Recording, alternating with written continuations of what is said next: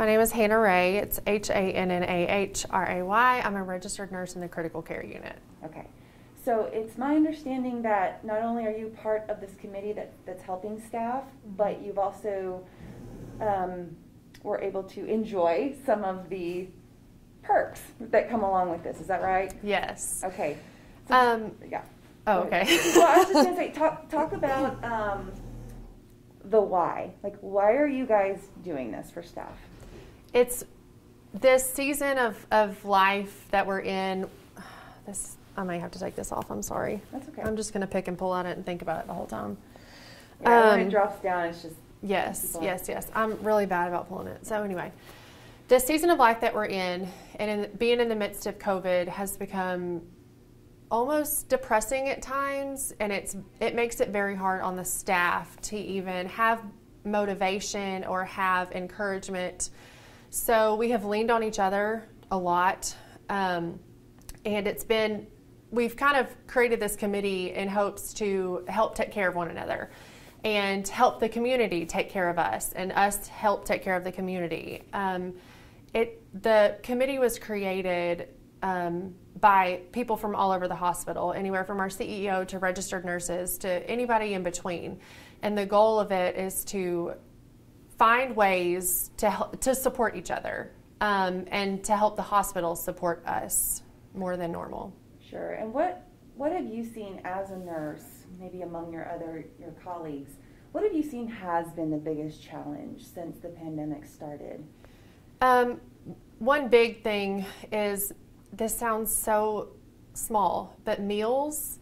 Um, having the time to take a break at work and eat a meal is hard. And having to go home and shower after you just walk in the door, or you have to shower at work and then go home and then prepare a meal for your family is hard. And it's time consuming, and it's something that we're not, we don't, we take advantage of sometimes. Um, and we almost feel guilty going home and being that tired and then having to eat or cook a meal or find food for the family. So I totally understand that. And then compound that with what you guys do all day. I couldn't imagine.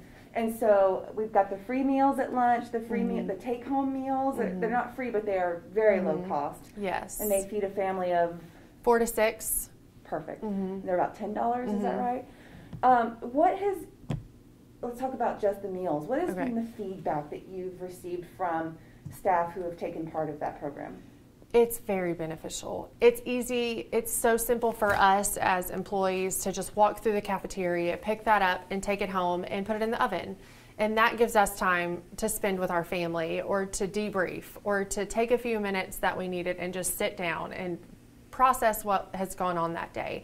So it's a lot more than just I'm bringing dinner home. It's this is time away from my family that now I'm getting back, that now I don't have to go home and worry or prepare or stop for dinner on the way home. It's something that has made it very beneficial for not only the employees of Conway Regional, but for our families as well.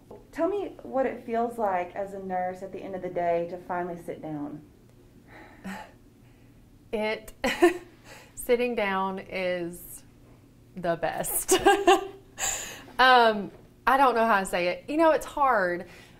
Our patients come first, and that's what matters. And for me, for me personally, I don't care how tired I am during the day because I'm here to take care of patients.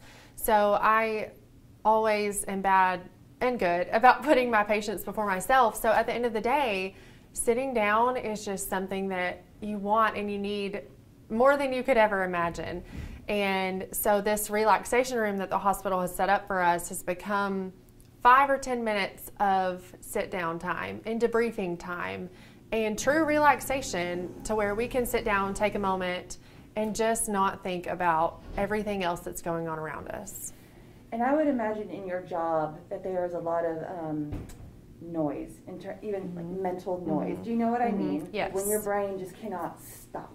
Yep. And that takes its toll. And so I would I would assume that this is kind of a nice break from that Yes. noise. Yes. And it's an environment and it's a room that they have created just to calm down the noise. And it's quiet in here and it's peaceful, and we don't have to listen to everything going on around us. And IV pumps going off, and ventilators making noises, and it's just peaceful. And that's what we need. some even five or 10 minutes a day, that's just what we need. Yeah. And can you, um, even if you haven't utilized that service, the child care, can you just talk about um, why that's so important to, to have that available? Well, a lot of our employees are working overtime, and that takes time away from your family and away from your kids or away from your spouse. And part of the committee's job that we're working on right now is finding ways to help parents that work here. So we've talked and discussed, and the you know the administration team has come up with um, the child care services through the fitness center.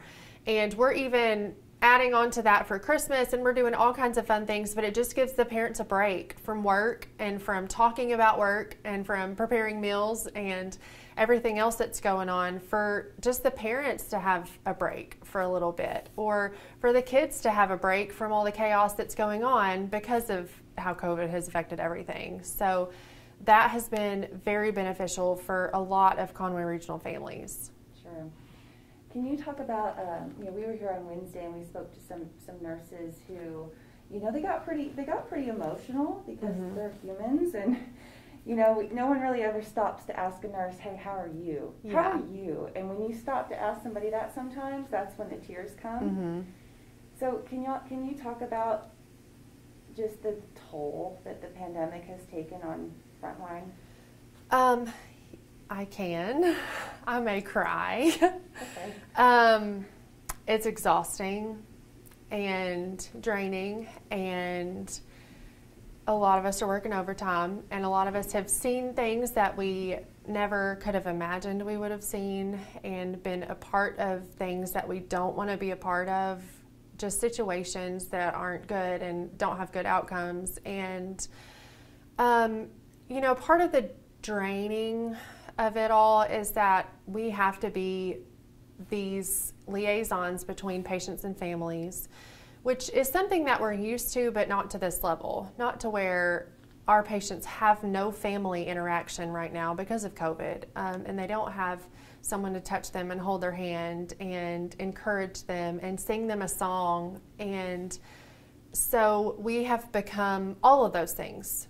The nurses and the techs and everybody in between has, has become the patient's family and the patient's advocate and their counselor and their liaison and their supporter and their pastor. And so it's not just taking a physical toll on us, it's taking an emotional toll and a, ev- everything. I mean, it's it's draining but also rewarding and comforting at the same time.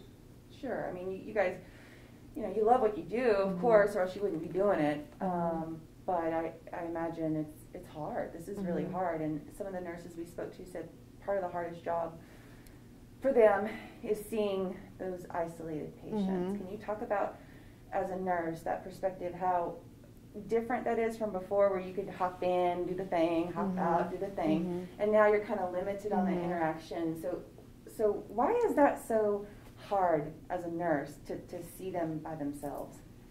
it's no one would ever want to be alone and or most people and no one would ever want to be alone in a hospital room that you may be in for weeks or days or hours and be scared and be frightened and be around an environment that is not your zone or your comfort zone or your home and so it makes it different for us to have to put on PPE that makes us look like a completely different human or that you can't even see my name badge. So I have to tell you, you know, every time I come in the room who I am because you don't even recognize me because I have all my PPE.